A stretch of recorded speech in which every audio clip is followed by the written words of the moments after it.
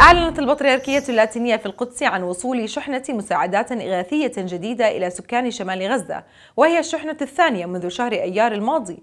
وتأتي هذه المساعدة في إطار مهمة إنسانية بين البطريركية ومنظمة فرسان مالطا. لتشمل مواد غذائية للكبار وأخرى مخصصة للأطفال والبالغين الذين يعانون من سوء التغذية بالإضافة إلى غيرها من الإمدادات الأساسية.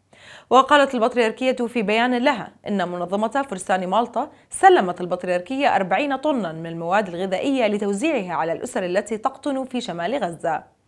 وأشار البيان إلى أنه بعد الانتهاء من عملية تسليم الإغاثة الإنسانية الثانية بنجاح فإن التخطيط جار لتحديد سبل توفير الرعاية الطبية في المنطقة ذاتها.